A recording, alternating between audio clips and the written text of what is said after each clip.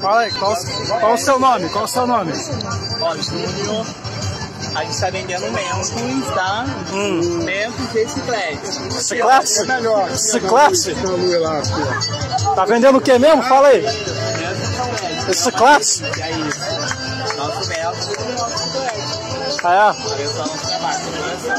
Boa, boa. Isso aí. Já, menino.